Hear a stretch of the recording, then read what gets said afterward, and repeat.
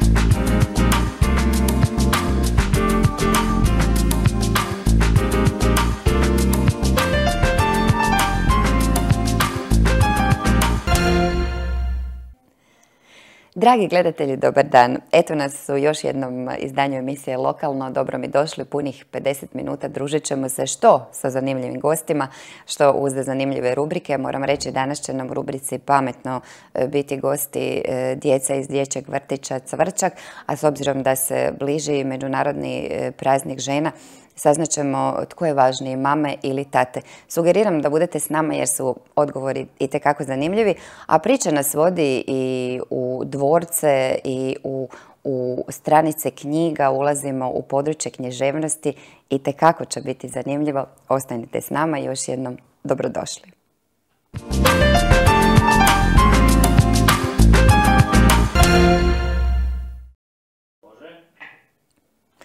Bacimo odmah na početku malo oko i na prognozu vremena. Za početak vrijeme sutra. Biće nam promjenjivo oblačno, i dalje razmjerno vjetrovito i iznad prosječno toplo za ovo doba godine. Uz više oblaka mjestimice će biti kiše ili ponekog pljuska i grmljavine u prvom dijelu dana uglavnom na zapadu, poslije podne i drugdje. Puhaće umjereni jak jugozapadnjak, a na Jadranu jako jugo. Najniža temperatura zraka od 7 do 12, na moru od 11 do 14, a najviša dnevna većinom od 16 do 21 Celzijev stupanj. Što se tiče bioprognoze, u cijeloj Hrvatskoj sutra će biometeorološke prilike biti razmjerno nepovoljne. I dalje su moguće nesanica, glavobolja, nervoza i loše raspoloženje kod meteoropata. Reumatičari, plućni i srčani bolesnici mogu imati veće tegobe. A što se tiče vremena za iduća tri dana, bit će nam promjenjivo povremeno uz kišu ili poneki pljusak i vrlo toplo za ovo doba godine. Od subote poslje podne do nedjelje poslje podne uglavnom suho. U ponedjeljak izražena promjena vremena s kišom u goriju i snijegom. Puhaće jako i olujno jugo, u unutrašnjosti umjeren i jak jugozapadnjak. Vjetar će u subotu malo oslabjeti, a u ponedjeljak okrenuti na umjeren sjeverac i sjeverozapadnjak, u unutrašnjosti te umjerenu prolazno i jaku buru duž obale. Danju će temperatura zraka biti malo niža, ali i dalje iznad prosjeka, osobito u unutrašnjosti, a od subote će jutra biti malo svježija. U ponedjeljak zahladnjenje.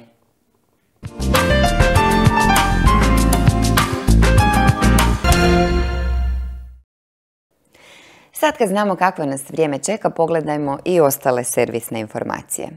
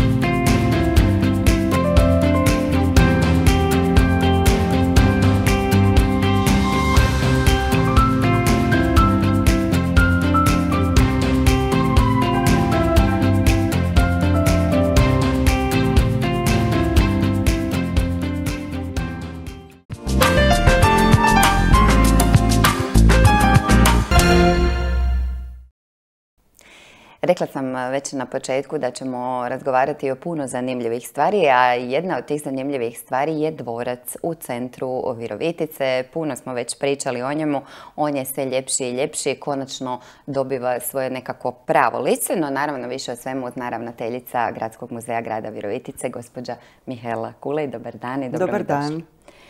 Kad sam rekla da dvorac dobiva svoje pravo i prekrasno lice, idemo odmah to malo prokomentirati. Mnogi građani se pitaju zašto je roze boje. Znala sam da će to biti prvo pitanje. Da, jako je kompliciran odgovor, pa nadam se da imamo vremena mhm. da do kraja objasnim.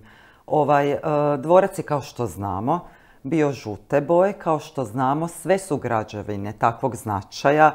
Znači tipa e, građevine recimo e, od početka 19. stoljeća pa kroz cijelo 20. stoljeće su žute boje. Zašto? To je nekakav nasljeđen obrazac ponašanja. Naime, u vrijeme kad se gradio dvorac Pejačević u Virovitici između 1800. i 1804. godine e, na vlasti u ovom dijelu Europe, znači u većem dijelu Europe, e, su bili Habsburgovci, čija je zaštitna boja bila boja zlata. Zato je Marija Terezija svojedobno propisala da sve građevine od e, značaja, a dvorac Pejačević je onda bio stvarno značajna građevina kao i danas u ostalom, zato što je bio vlasništvo jedne velikaške obitelji, obitelji Pejačević, koja je bila dosta aktivna u političkom smislu, a i u socijalnom na Habsburškom dvoru. E, sve te građevine moraju biti boje zlata. Najsličnija boja zlata je mhm. žuta boja. Zato mi imamo taj nasljeđeni obrazac ponašanja. No, međutim, kod nas se dogodila jedna jako zanimljiva stvar, a to je da su Pejačevići koji su ostali bez muških nasljednika u jednom trenutku i bez financijskih sredstava odlučili prodati dvorac i prodali su ga 1841. godine kada je dvorac kupila kneževska obitelj Šamburg-Lipe iz Njemačke, a s obzirom da je njihova kneževina bila samostalna i nije bila pod utjecajem Habsburškog dvora, oni su poprimili uh, utjecaje uh, Francuske, odnosno u to vrijeme, sredinom 19. stoljeća, francuskog rokokoa. S obzirom da francuski rokoko kao stil koristi lijepe pastelne tonove, oni su dvorac obojali u tu bljedo ružičastu boju sa tom uh, arhitekturalnom plastikom, sad ga tu gledam, koja je malo uh, svjetlijeg valera, odnosno svjetlijeg tona. I zapravo prvi dokumenti, najstariji dokumenti koje mi imamo u vezi dvorca su, uh, su dokumenti upravo iz tog razdoblja. Stoga je konzervatorski ured u Požegi odlučio da će na temelju dokumentarne građe definirati boju pri obnovi dvorca i to je upravo ta boja. Znam da je duga priča, no međutim stvarno Vrlo zanimljiva priča, evo sad da. konačno građani. Evo nadam se da će sad građani naše shvatiti. Ja znam da je njima ta žuta boja odgovarala. Mhm. No e, imam i drugo, puno informacija s druge strane kad ljudi kažu, ali sad je stvarno poseban. Ja smatram da je poseban i kažem, iako to nije moj osobni odabir, iskreno ću vam reći, e, ja ne bih voljela da sam trebala biti u situaciji birati boju dvorca. Mhm. Tako da mi je drago da je tu ipak neka druga sila proradila, jer meni je svejedno je on žuti ili je rozi ili bilo koje druge boje. Meni je najbitnije da on bude zdrav napokon iznutra i da dobije svoj puni e, funkcionalni smisao i značaj. Pa dobro, lijepo ste tu priču ispričali. Ja moram reći da će mnogi naši mladi gledatelji, djeca će reći ove za, za princeze. Da, to je boje za djevojčice, a djevojčice su nekako više vezane uz dvorca i priče o dvorcima nego dječace. tako da mislim da ipak je više tako. Mhm. Moramo se naravno malo i šaliti, ali vrlo je ozbiljna priča oko te roze boje, tako da smo je konačno i čuli iz mhm, doista uh, usti osobe koja je kompetentna o tome govoriti. Hvala. E, zapravo, e, zvala sam vas zato što slijedi priča o nabavi uređenja dvorca iznutra. E, što će uopće biti unutra? Što je do sada bilo? Dakle, čini mi se da sam zapitala jedno pitanje koje i takako uz ovu boju ima dugačak odgovor. da. E, dakle, kao što svi znamo, do sad je u dvorcu bio Gradski muzej Virovitica na prvom katu dvorca, a u prizemlju su bile prostorije raznih namjena, zato što je dvorac e, u vlasništvu grada Virovitice. Nekakva nekakva intencija, recimo to tako, je bila e, dvorcu dati e, puni značaj na taj način da ćemo cijeli e, prostor dvorca staviti u funkciju muzeja. To smo i uspjeli i to mi je jako drago i meni i mojim kolegicama, nadam se i našim sugrađanima. Naime, radi se o tome da će dvorac sad zaživjeti onako kako žive muzeji u Europi.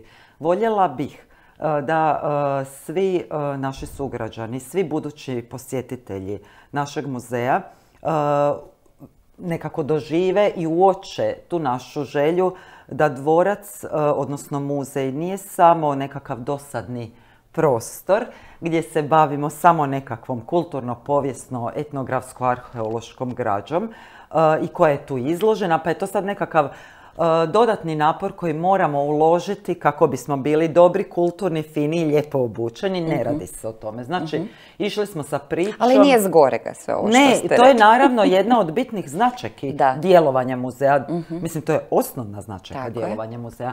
No, međutim, e, muzeji danas, suvremeni muzeji, naravno žele svoje gledatelje, posjetitelje i zabaviti na sve druge načine i nekako ih uputiti na, na to pretraživanje samog sebe kroz didaktička pomagala, kroz nekakav interaktivni način razgledanja građe kroz nekakvo audio, e, vizualno iskustvo koje je van e, tog kulturnog krajolika gdje su svi jako fini i međusobno ne razgovaraju. Znači, kroz stvarno nekakav novi način komunikacije. Komunikacije e, kulturne baštine sa svakim pojedinačnim posjetiteljem. Mhm. Zato je ova priča počela prije dvije i pol godine i, ovaj, i prošle godine u ljeto je predan muzeografski projekt, projekt nabave opreme dvorca.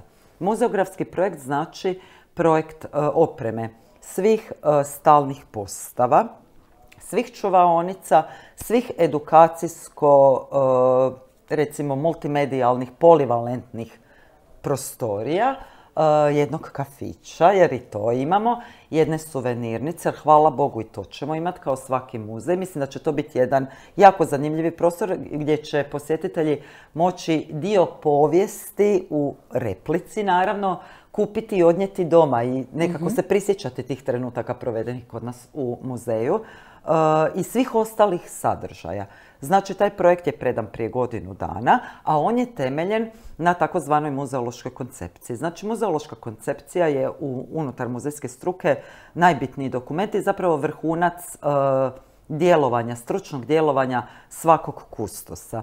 Ja i moje kolegice smo uz pomoć tvrtke Krear napravili muzeološku koncepciju koja, e, čiji je put sada da će ovih dana e, biti na Hrvatskom muzejskom vijeću, znači krovnom tijelu za muzeje u Republici Hrvatskoj e, koje djeluje pri Ministarstvu kulture gdje ja idem osobno sa tom koncepcijom zapravo napraviti predstavljanje nje i tražiti verifikaciju tog dokumenta jer je to jedan znanstveni tekst gdje mi objašnjavamo prvo povijest E, grada Virovitice. Povijest dvorca Pejačević, povijest muzeja i onda nudimo neku novu priču koju ćemo mi predstaviti u tom budućem obnovljenom dvorcu, odnosno budućem gradskom muzeju Virovitica unutar dvorca. Mm Nadam se da nisam prekomplicirana, jer meni je to sve ako jasno, to je moja struka.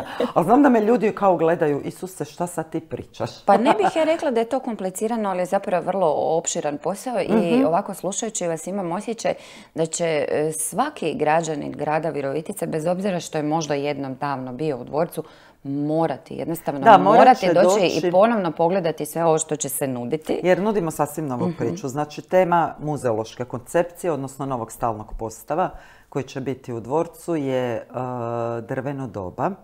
Znači to nam je nekakav naziv mhm. postava gdje ćemo e, interdisciplinarno kroz sve naše zbirke, svu našu građu, kroz sva saznanja koje smo u 60 godina djelovanja muzeja uspjeli e, doseći, predstaviti, e, pa reći ću ovako, e, utjecaj drveta na e, nekakva civilizacijska djelovanja čovječanstva, posebno reflektirana naravno na ovo naše mhm, mhm. područje. Znači, Tako da sasvim je nova priča. Sve ono što smo prije vidjeli u muzeju kod nas, više se ne vraća u muzej, jer taj stalni postav, znači nekakav vrh djelovanja kustosa je postav novi stalni postav. A taj stalni postav je bio star kao ja. A ja sam žena u najboljim godinama, to je istina, no međutim, taj stalni postav je unutar struke stvarno e, zastario. Dajte mi sad onda recite, dolazimo u muzej, gotovo je sve, mhm. naravno nećemo sad o datumima, nije važno i ovako ćemo onako i još govoriti gledateljima o toj temi. I evo, sretnemo vas, dobar dan, pokažite nam sve što ima. Vaša priča je sasvim nova, kao da recimo dolazite na neki novi posao. Da, da. Dakle, izazov i za vas djelatnike. E, vrlo veliki izazov. Znači, ovaj e, tihi rad koji mhm. ljudi sad ne primjećuju, ali mi sad ne radimo ono mhm po čemu ljudi doživljavaju muzej, a to je izložbeni dio. Mhm. Znači, mi smo sad radili stvarno na ovom znanstvenom dijelu i to je dugotran, što ste sami, drago mi je da ste to primijetili, dugotran, zahtjevan i opširan posao i trajao je. A sada, kad se preselimo, uh, ćemo imati sasvim novo radno mjesto, svako mhm. od nas, odnosno sasvim novu priču. Uh, pa ako želite, ja bih vas vrlo rado provela Može, kroz evo, priču, jer evo, ja sam sva u toj priči. Znači, kada uđete u dvorac, uh, prizemlje je namijenjeno nekakvim edukacijsko-komunikacijskim sadržajima. Tu ćemo imati suvenirnicu s jedne strane, e, s druge strane tu je prva polivalentna dvorana za koju se nadam da ćemo i dalje ostvariti suradnju lijepu sa likovnim klubom Nikola Trik koji je uvijek kod nas imao izložbe. Znači ta je dvorana namijenjena takvim prostorima. Sa e, gradskom glazbom, sa glazbenom školom Virovitica, sa Hrvatskim pjevačkim društvom Rodoljub. Znači ta dvorana će imati nekakav takav sadržaj sa svima koji će htjeti kod nas promovirati nešto svoje, naravno u smislu našeg djelovanja, e, odnosno sa svima koji, će, koji su bili naši suradnici ili će to postati. Nakon toga jedan prekrasan prostor uh, u koji je namijenjen edukaciji. Naime, uh, nekakvo muzejsko djelovanje, a znam da su nas naši posjetitelji prema tom prepoznavali u zadnje vrijeme, su te pedagoško-edukativne radionice koje su bile namijenjene uh, kada smo ih radili jako puno E, svim e, životnim dobima naših posjetitelja.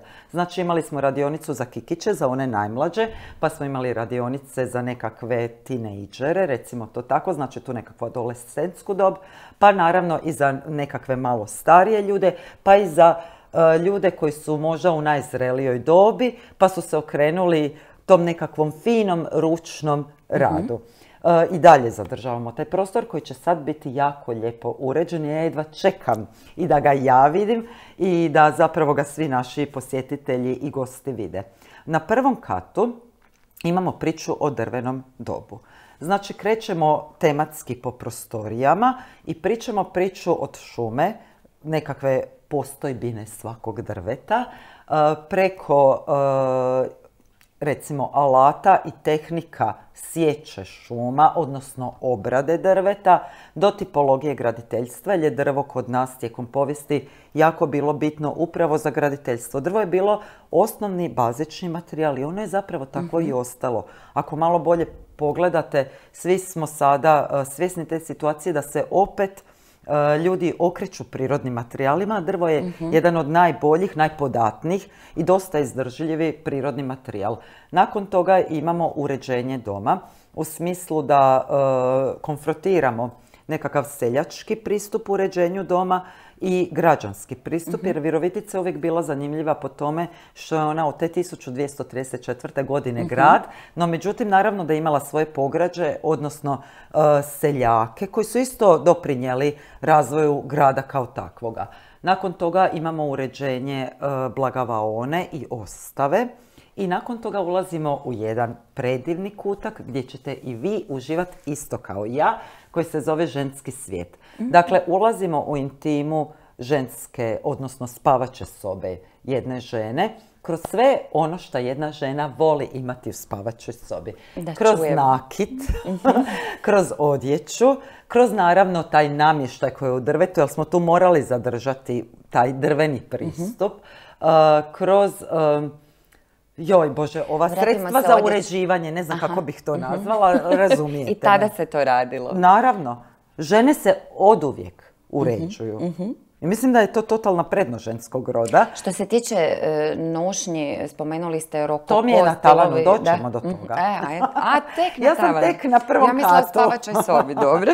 na prvom katu. E, U drugom krilu na prvom katu smo se više pozabavili e, obratom drveta. Znači kroz cehove, obrte, kroz industrijsku proizvodnju gdje je tu Twin koji je poznat znači na nekakvoj nacionalnoj razini i onda kroz jednog čovjeka koji je jako bitan u okvirima e, hrvatsko, hrvatske arhitekture i produkt di- dizajna, a koji je surađivao sa Twinom nekakvih 20 godina, a to je Bernardo Bernardi.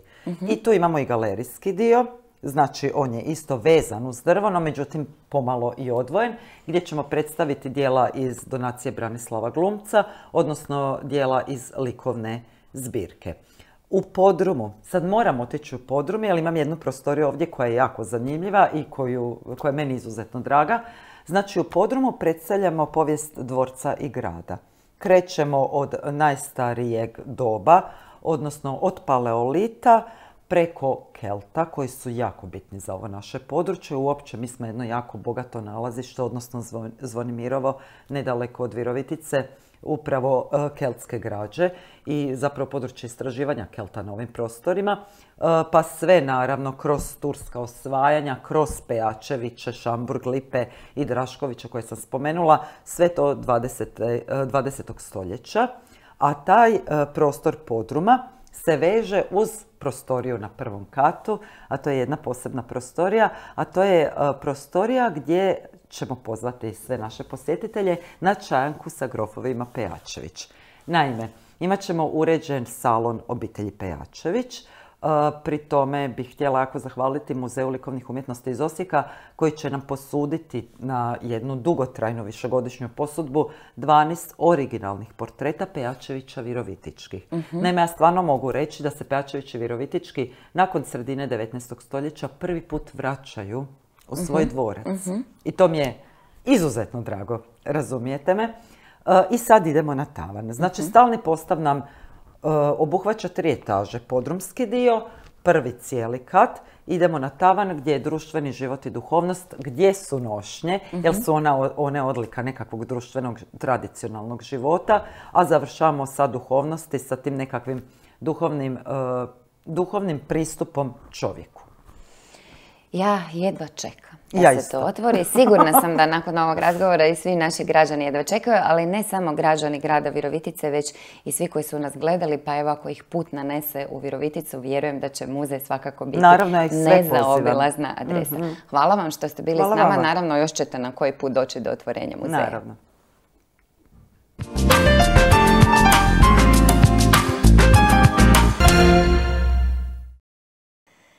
Tko je važniji, mama ili tata? Pitanje je sad. Vjerujem da i vi imate odgovor na to pitanje, ali nama su odgovor dali polaznici dječjeg vrtića Cvrčak iz Virovitice. Pogledajmo, vrlo su zanimljivi odgovori.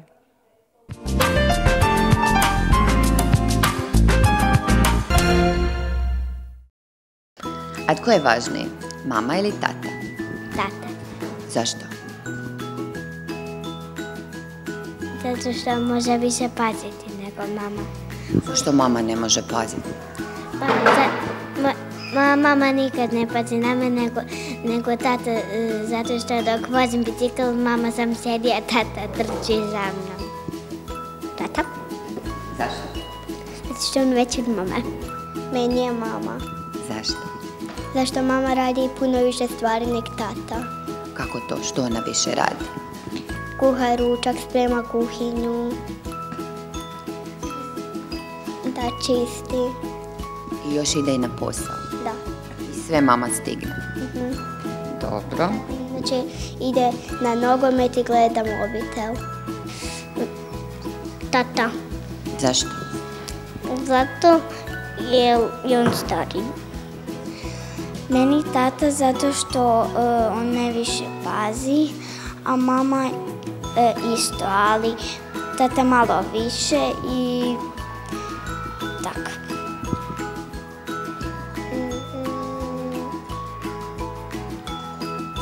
Tata Zašto? Zato jer kad ga ne slušaš, on je najvažniji za to. A mama za čistanje.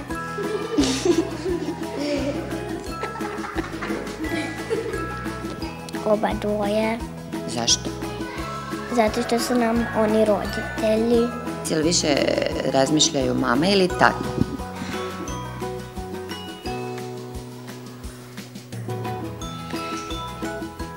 Tate, Zašto? ne znam, veći su od mama.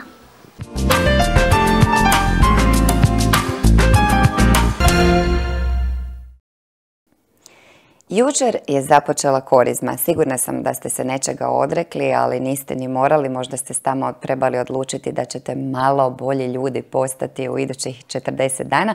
Međutim, naša vrijedna ekipa s plave televizije istražila je čega će se građani Virovitice odreći upravo u korizmi. Počela je korizma, vrijeme kada katolički vjernici kroz molitvu iščekuju najveći kršćanski blagdan. Mnogi korizmu doživljavaju kao novi početak u kojem će nastojati sebe mijenjati na bolje. Susret sa samim sobom prije svega i onda naravno slijediti, Kri- slijediti Krista, još više uroniti u Božju riječ i pokušati je slijediti jel da, u ovom svijetu koji je sve teže je to njegov prepoznati glas, ali što više se trudimo, to više i uspijevamo. 40 dana korizme vjernici najčešće provode uz molitvu i posvećenost Bogu. A htjela bi da je najviše mira i zadovoljstva u društvu. I pravednosti. Evo to. To najviše znači. Možda nije ni hrana u pitanju, u pitanju je osoba. To je moje mišljenje. Posvetite Bogu inače, a taj puta posebno. Je to eh, za vječnost. I ako tak ne gledimo, onda nema ništa. Uz molitvu neizostavan dio korizme su post i nemrs. Iako kažu naši svećenici da za stare osobe da ne moraju postiti. Ali ja se držim ono svog kršćanstva od malena. Ni riba ne dolazi u obzir. Slušamo gospu kako nam ona savjetuje, ona kaže srijedom i petkom na kruhu i vodi biti. Tako da ja to radim već evo godinama, tako da meni ovo ništa nije posebno, ovo neki, po- neki post, jer postim već jako, jako dugo. Tradicionalna vjerovanja nalažu kako se u vrijeme korizme treba odreći onog što negativno utječe na nas. Takvih se vjerovanja drže mnogi. Hoćeš li se ti nečeg odreći u korizmi? Hoću. Loših ocjena i psovanja. Ja sam se već puno toga odrekao jer sam puno korizmi preživio. A dugo sam razmišljala čega ću se odreći, već godinama tako. I zapravo je najvažnije da se odreknemo loših misli i lo- e, svega, jer od misli sve počinje. Zapravo to je najteže, to svake godine pokuš- pokušavam i nadam se da ću jedne godine uspjeti. Ja mislim da se ne treba odricati samo u korizmi, nego cijeli život raditi na sebi, jer nije sam tih 40 dana period gdje se trebamo odricati, nego cijeli život raditi na sebi.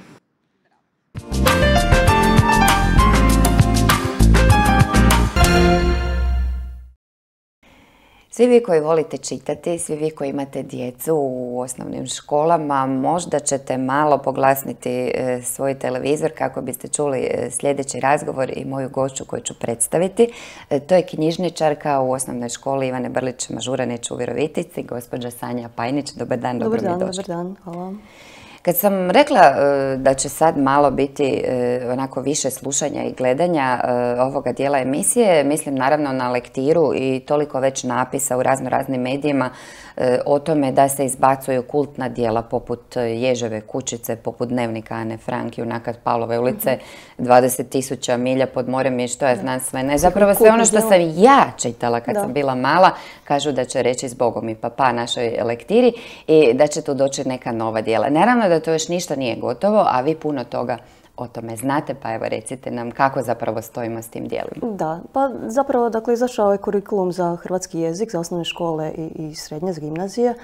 I radi se o tome da odmah treba naglasiti ovdje postoje e, dva popisa, dakle za srednju i za osnovnu školu. E, za srednju školu e, taj popis dijela za cjelovito čitanje je nešto širi.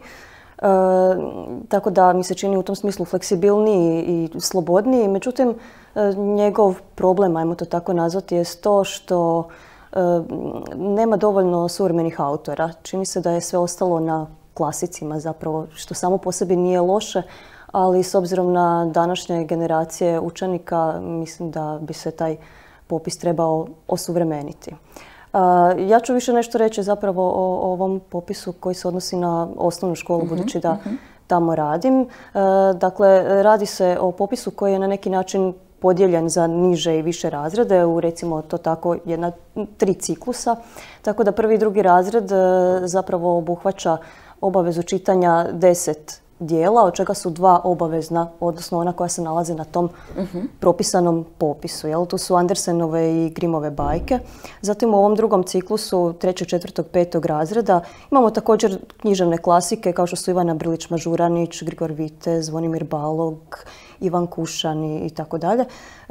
Od njih također su dva treba odabrati iz tog obaveznog popisa. Mhm. I ovaj treći ciklus šestog, sedmog, osmog razreda također osam dijela koje treba pročitati kao cjelovita, jel, knjižane tekstove.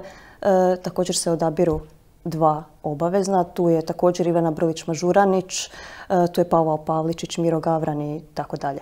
E, sami ti popisi za osnovnu školu obaveznih dijela su po meni korektni jer eto sadrže jel, nekakve već dokazane E, književne pisce koje potvrđuje i znanost u dječjoj književnosti.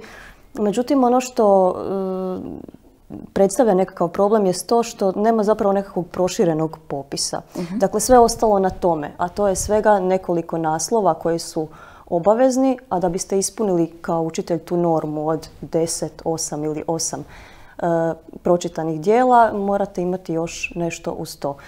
što znači da se zapravo sva sloboda daje E, učitelju, jel, odnosno nastavniku. On ima apsolutnu slobodu izbora. E, tako da ovaj, s jedne strane to može zvučati lijepo, međutim mislim da dovodi do relativizacije cjelokupne lektire i općenito je dječje književnosti jer se stječe dojam da se ono sve može i ništa ne mora i koji će uopće biti kriteriji vrednovanja takve lektire hoće li se polučiti ishodi koji su zadani, jel, obrazovni ishodi, ili je cilj dati apsolutnu slobodu da bi se eto privukla jedna čitateljska publika. Dakle, e, imamo s jedne strane težnju za obrazovnim ishodima, s druge strane želju za pobučivanjem nekakve čitalačke kulture, pa onda ono, jel, čitajte što želite. I sad mislim da tu treba naći nekakav kompromis. Hodamo dakle, po tankom ledu zapravo pričajući o tome jer danas mladi sve manje čitaju, pa usuđujem se reći i odrasli baš puno ne čitaju ove doista nove tehnologije. Čitamo, stalno se bavimo nekim slovima, ali pitanje je na koliko koji nam je pažnja usmjerena tako koliko je usmjerena. E, tako da, e, općenito se ova nova kurikularna reforma, reforma svodi na to da će e, zapravo profesor i učitelj biti taj koji mora doći do jednog ishoda na njemu svojstven način. On će sam moći odabrati i ne, ne mislim sad samo na lektiru, nego i općenito sve predmete koje će učiti, pa vjerojatno samim tim je i lektira bila u tom istom košu. E, vjerujem da se vi kao knjižničarka baš i ne slažete s tim, da sigurno postoje neka djela koja doista ne bismo trebali e, izaći iz osnovnog, e, osnovnoškolskog obrazovanja, a da ih ne pročitamo. Mhm. Dajte nam neka nabrojite. Pa dobro, ovo što je, kažem, nabrojeno u samom tom popisu obveznih dijela, kao što su Ivana Brlić, Mažuranić, Kušan i to jesu doista nekakvi književni klasici u kojima nema ništa loše zapravo, jel? Bez obzira na to što se recimo, ne znam, u Lovrakovim romanima to djetinstvo koje je prikazano više nije djetinstvo naše djece, ali e, ne mislim da bi se oni trebali jel, izbaciti, kako se sad to ovaj, po medijima doista ovaj, često koristi ta riječ. E, već bi trebalo jednostavno taj novi popis osuvremeniti, unijeti nešto što je um, učenicima bliže, ali opet da se stvori određeni kanon, dakle da ne bude sve na apsolutno slobodnom izboru, da se da uh, nastavniku određena smjernica na temelju kojega će moći ipak nekakve ishode dobiti, jel? a s druge strane da, da se privuče ta čitalačka publika. Pa uh, nekako u, u našoj praksi, mislim, um, doista su različita iskustva. E, mislim da prvo trebamo krenuti od ovih najmlađih, budući da se oni susreću sa knjigom. Mhm. E, tako da je vrlo važno ovaj, imati dobre slikovnice da bi se uopće dijete zaljubilo u knjigu. Jer sa rastom jel, nekako se taj interes za knjigu mijenja kod većine djece. Ovaj, e, tako da imamo zapravo dobrih primjera i klasičnih tekstova koji su na neki način obnovljeni jako dobrim novim izdanjima i dobrim ilustracijama. E, možda u toj priči o slikovnicama uvijek zaboravljamo ilustratore, oni nekako e, ostaju po strani. Jako su važni. Prve slikovnice upravo po tome pamtim. Tako je, da. Po lijepim ilustracijama. A mislim da danas imamo doista ovaj, jako velik broj dobrih ilustratora od Tomislava Torjanca, Zdenka Bašića, eh, Andreje Petrolih Huseinović, da, mislim da ih dalje jel, ne nabrajam. Tako da mislim da bi se tu trebalo krenuti mhm. od toga. Eh, evo, ja se sjetim uvijek, recimo, dijela Gospođica Neću, Sunčane Škrinjarić, koja je mhm. isto ukoričena u jednu lijepu mm, slikovnicu. Eh, Grge Čvarka, izdanje jel, sa mhm. ilustracijama Tomislava Torjanca. Mislim, doista ima puno, puno primjera. Djeca jako vole recimo Bednjančevu duricu, a to je strip. Ovaj, to zaista, ovaj, mislim da djeca često ju posuđuju i rado čitaju. A strip je opet jedna nova forma koja mislim da bi mogla naći svoj prostor, svoje mjesto u nekakvim jel, službenim mhm. popisima. E, tim više evo jedna nakladnička kuća specijalizirana za stripove baš i najavljuje jednu liniju e, tih suvremenih e, stripova baš za djecu. Jel? Tako da bi mogli se malo odmaknuti zapravo od one možda klasične priče o knjizi, čime uopće ne umanjujem važnost nekakvih naših književnih velikana, ali da možemo napraviti nekakvu ravnotežu između toga što je, što je opće prihvaćeno, što je dobro, što se potvrdilo i dati malo prostora i suvremenim autorima. Sad kad ovo govorite, vraćam se u svoje djetinstvo iz Zagora i Bleka, neki iz moje generacije mhm. će se sjećati, vi ste puno mlađi pa se možda ne sjećate tih romana. Nisu možda bili tako nešto edukativni, ali svakako za upotpuniti slobodno vrijeme i to se tada činilo. E, vi ste u izravnoj interakciji s djecom i imate povratne informacije. E, je li ih ta lektira tlači i jesu li ljudi kad dolaze posuditi knjige ili ima doista ovih koji ovako vedro i veselo dolaze pa makar i male durice koje smo spomenuli u knjizi? Da. Pa e, zapravo djeca su različita, naravno njihovi su interesi općenito različiti i dobrim dijelom učenika uvijek ovaj, ta lektira predstavlja eto, tu nekakvu obavezu. Mhm. Međutim, opet dobar dio njih se zaljubi u tu knjigu koju su eto, morali kao posuditi. E, no, mislim te same lektire opet postoji uvijek jedan krug djece koja rado čitaju i mislim da će to ostati u budućnosti bez obzira na ovo što ste bili prije spomenuli, na tu konkurenciju novih medija. Jer činjenica je e, da novi mediji su puno privlačniji, da su e, sadržajno, jel, ono, sadržajno privlačni, bogati, puni su boja, vizualno su lijepi, brzi su. Za knjigu ipak treba pažnja, treba nekakva koncentracija, e, tako da konkurencija ima knjigu, ali ima i uvijek jedan krug čitatelja koji mislim da je ipak stalan. E, tako da ove djeca koja dolaze u knjižnicu i posuđuju lektire, osim toga se nađe i njih koji čitaju izvan toga. E, naravno uvijek će se naći od, među djecom ovi, ovi mladi koji dalje čitaju recimo ne znam, Stajnove hororce. Mhm, mhm. koji vjerojatno nikad neće ući u, nekakav kanon možda propisane lektire, međutim postoji interes i to treba poštovati jer djeca čitaju. E, to sam vas ovaj- zapravo i htjela pitati. E, ako djeca uopće ne vole čitati, nekako razmišljala sam prije ovoga razgovora o tome da se doista možda s tim čovjek rodi, jer e, puno bih mogla nabrojiti primjera gdje roditelji vole čitati, a dijete ne voli. Dakle, svojim primjerom su pokazivali i ukazivali na to da je knjiga čovjekov mhm. najbolji prijatelj, ali jednostavno, evo, što zbog možda novih tehnologija, zbog sporta ili bilo čega, dijete nema afinitet prema čitanju. E, pa onda ako im se recimo samima dozvoli da dođu u knjižnicu i biraju po boji, po mhm. stripu ili nečem sličnom, možda na taj način postanu neki čitatelji. Imali možda šanse za takve? Da, pa mislim da treba isprobati sve mogućnosti, naravno da uvijek dobijemo neke nove čitatelje, a kažem, e, djeca imaju različite interese i mislim da treba to poštovati. Jel? E sad, ono što je lektira je jedno, ovo što je čitanje u slobodno vrijeme je drugo, jer kažem lektira opet uz e, privlačenje djece, djece ka kulturi čitanja bi trebala i nekakve obrazovne ishode dobiti. I tu se zapravo te dvije dimenzije knjiga razlikuju. Jel? Tako da mislim da je tu najteže naći nekakvu dobru ravnotežu u tome svemu.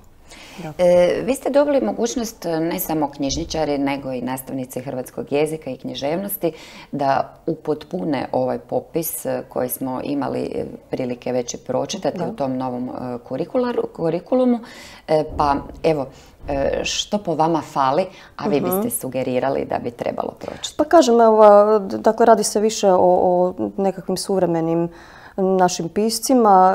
Ove slikovnice koje sam vam već mhm. spomenula, e, predložila sam njih. Predložila sam i nešto što je zapravo sad nekav hit općenito jel, među, među mladima. E, a više bi ga predložila za nekakvo slobodno čitanje. E, to su knjige Davida Valiansa i Ridela, Krisa Ridela, tako da ovaj, mislim da bi se tu isto nešto moglo naći.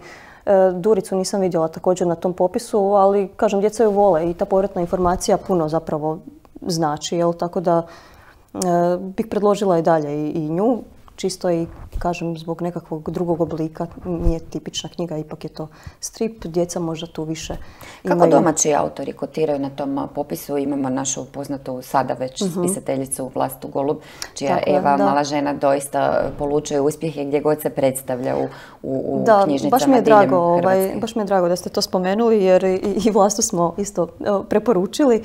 A eto, iz nekakvog mog iskustva mogu reći da, iako pošto su to nove knjige, nisu u nekakvom popisu dosadašnjem lektire, ali mogu reći da postoji interes za djece za, za njezine knjige, tako da ovaj, ja vjerujem da će s vremenom naći mjesto u nekakvim službenim popisima. Kako stojimo s e, domovinskim ratom s obzirom e, na to da možda djeca nisu dovoljno upućena mhm. i educirana o tome što se nedavno događalo u hrvatskoj mhm. povijesti? E, naravno da bi možda o toj temi mogla razgovarati i s profesorima povijesti, mhm. možda više nego s vama, ali pada mi na pamet dijelo Alemke Mirković koja je napisala knjigu koja po meni, evo ako smijem svoj sud uh iznijeti ovako javno, uh bi doista e, glasom protiv topova uh imala mjesta na popisu lektire u osnovnoj školi. Pa u osnovnoj školi uh, ona nije na ovom popisu, uh, međutim priče iz Vukovara Siniše Glavaševića jesu. Tako da ovaj, eto, tu je nekako pokrivena ta tema domovinskog rata. Ono što se do sad obrađivalo u lektiri bili su, bila su dijela Stjepana Tomaša koji je tu tematiku pokrivao. Tako da, eto, za sad je to nekako sa Sinišom Glavaševićem zaokruženo, a sad e, vrlo vjerojatno da će se naći prijedloga i na ovom mogućem potencijalnom jel, proširenom popisu za neke nove naslove. U posljednje vrijeme se žalimo da nemamo vremena, što odrasli, što djeca, svi su prepuni nekakvih obaveza, pa onda je knjiga zadnja koja dolazi na red, a rekli ste treba krenuti od malih nogu, da. kad doista dijete ima puno vremena i kreće sa slikovnicama. Mhm. Evo, mladim mamama, onima koji će tek e, postati mame, mhm. idemo dati neki savjet. Dakle, e, treba li ona malo sjesti pa čitati knjigu da, da djete to vidi, jer znamo da djeca vole kopirati svoje majke. Da, da, da, majke su im uzor.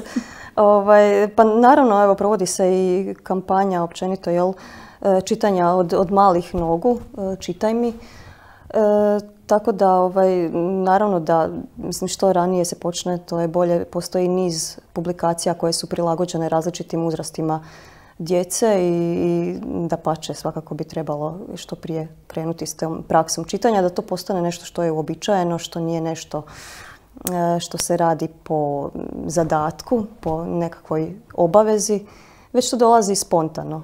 Tako da recimo mi kod nas u knjižnici ovaj, e, uz sve te nekakve aktivnosti čitanja prije svega želimo sam prostor učiniti domaćim, jel? Da, da djeca uopće ovdje dođu, da se osjećaju kod, kod kuće, da imaju tu nekakvu atmosferu dnevnog boravka, pa onda eto, da i to čitanje nekako dolazi posredno, ne po zadaći, nego onako spontano i s ljubavlju.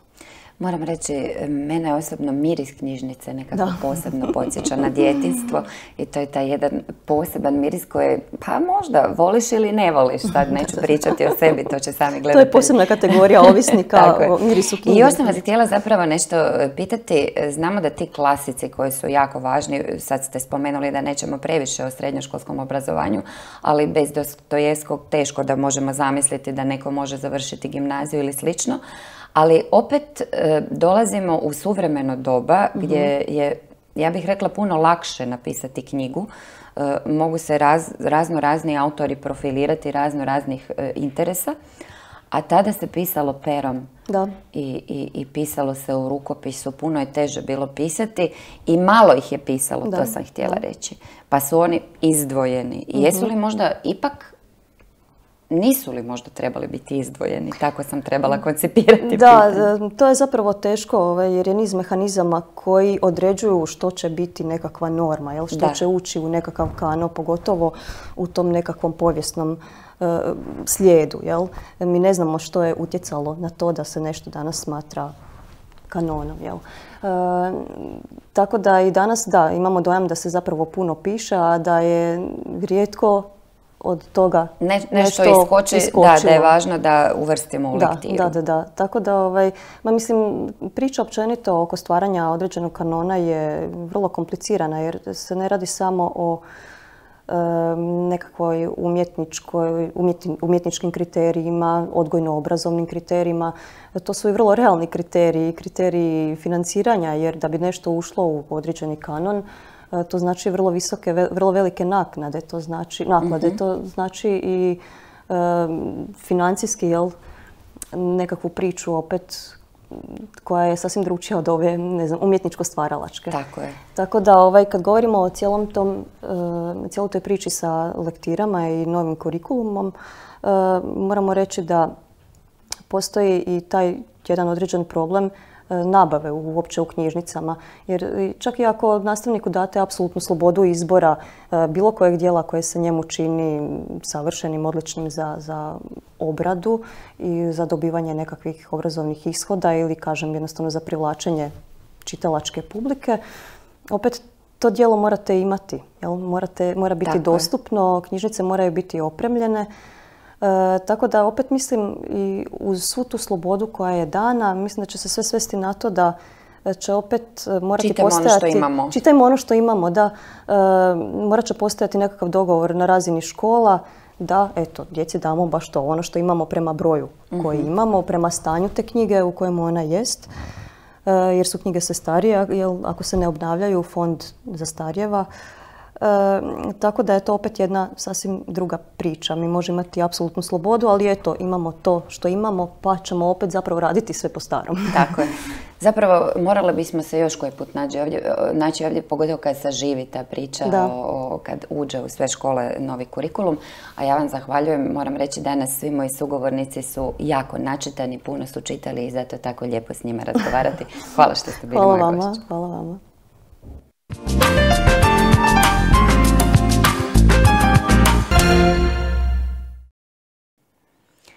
U našoj emisiji Lokalno uvijek je zabavno, a posebno kad smo uz rubriku Zabavno koja upravo slijedi.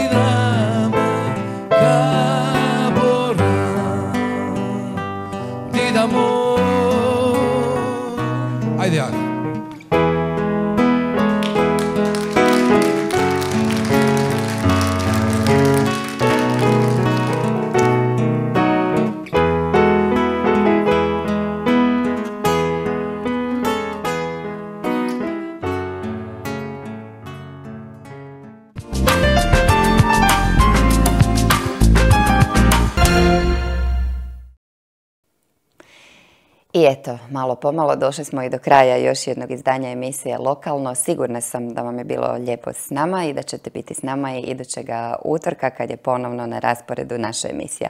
Hvala što ste bili s nama, budite i dalje uz program Plave televizije. Doviđenja.